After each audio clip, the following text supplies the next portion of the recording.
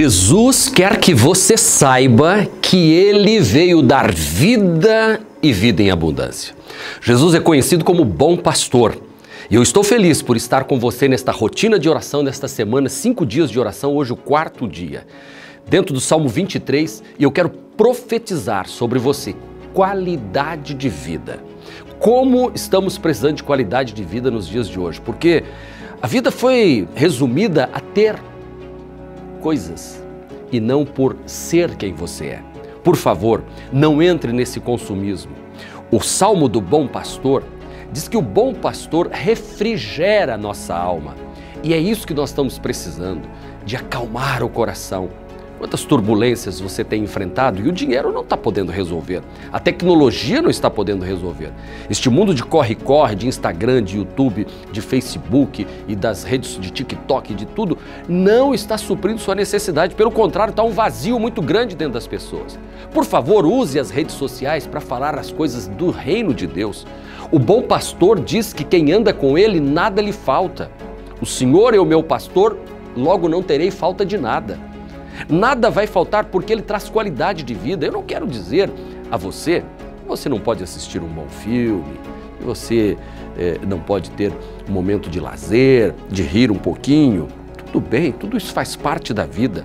Mas não tente colocar estas coisas em primeiro lugar. Jesus veio para dar vida e vida em abundância.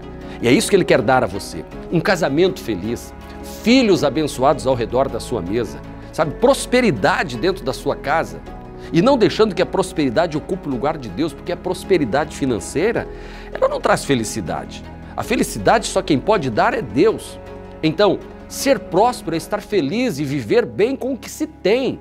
Claro, podendo ter mais, vai conquistando, mas nunca coloque o teu coração. Paulo vai dizer que se as suas riquezas aumentam, não coloque nelas a vossa confiança.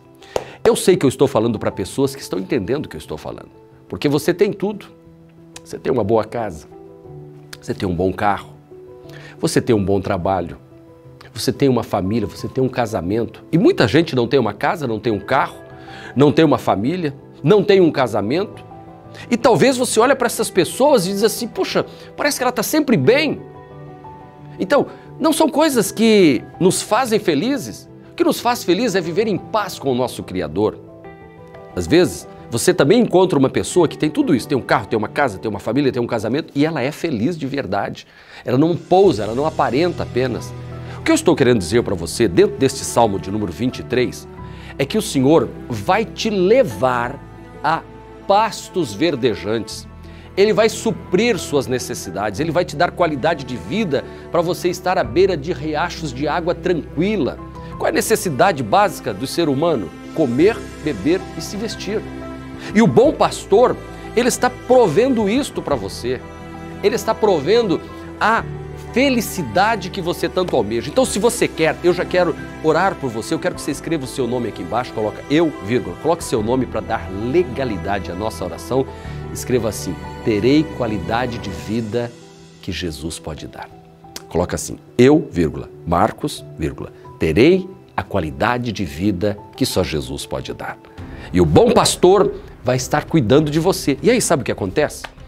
Ainda que você esteja atravessando um vale de sombra de morte, sabe, pessoas tramaram contra você, pessoas estão tentando te destruir, pessoas estão tentando minar o teu casamento, roubar as tuas finanças, te passar a perna.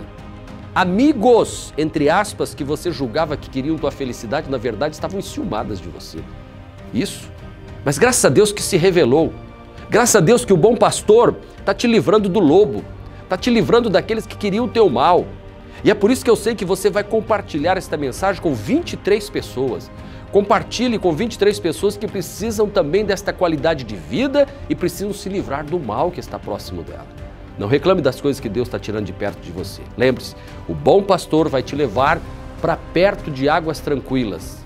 O bom pastor vai te levar para pastos verdejantes, para que você descanse, mesmo que tenha inimigos ao seu redor, porque o bom pastor se encarrega de cuidar de você. Vamos orar juntos o Salmo 23? Já escreveu? Amém. Então agora, no mundo espiritual, eu já tenho legalidade para orar por você e nós vamos orar juntos o Salmo 23, que diz: O Senhor é o meu pastor, nada me faltará. Deitar-me faz em verdes pastos, guia-me mansamente a águas tranquilas, refrigera minha alma, guia-me pelas veredas da justiça, por amor do seu nome. Ainda que eu ande por um vale de sombra de morte, eu não temerei mal nenhum, porque tu estás comigo. A tua vara, o teu cajado me consolam. Preparas uma mesa perante mim na presença dos meus inimigos. Unges a minha cabeça com óleo, meu cálice transborda. Certamente que bondade e misericórdia me acompanharão todos os dias da minha vida e eu habitarei na casa do Senhor para todos sempre. Amém. Amém. Eu quero te convidar para orarmos juntos agora. Feche os seus olhos. O Pai cuida de você, pode ter certeza disso. O bom pastor está aí pertinho de você. Vamos orar? Meu Deus, meu Pai. É na autoridade do nome de Jesus que neste momento eu peço que anjos entrem em movimento, visitando a casa, o local de trabalho, esta pessoa e ela seja guardada pelo Senhor e que o Senhor traga qualidade de vida tão sonhada, noite de sono tranquilo, o acordar pela manhã sabendo que aquele dia será o melhor dia da vida dela. Pai, se alguém está sofrendo um ataque do inimigo, agora afasta este mal. Leva para bem longe. Como Davi enfrentou o urso e o leão para defender a ovelha, assim o Senhor Jesus esmaga a cabeça do leão e destrói a cabeça da serpente e vence todo o mal que vem contra os filhos dele. Portanto, Pai, nós estamos guardados em Jesus Cristo. E isto traz-nos uma segurança. Eu abençoo agora com cura divina esta pessoa agora, esta mulher que está com febre agora, esta mulher que está desanimada, abatida, chorando, com o princípio de uma depressão, ou já está numa depressão. Levanta ela desta cama e dá qualidade de vida a este filho e esta filha. Eu estou orando, repreendendo todo o mal e declarando cura, vitória, alegria e felicidade para a tua vida em nome de Jesus. Amém, amém. Respire fundo, receba qualidade de vida, receba alegria no seu coração e viva uma vida de vitoriosa. Daqui para frente é só vitória para você e para sua família, pode ter certeza disso.